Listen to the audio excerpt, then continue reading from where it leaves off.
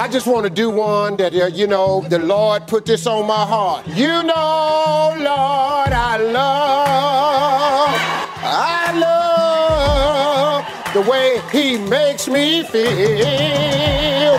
He been good. I said he been, I said he been good. Sit yo, what you doing? I want to sit through this.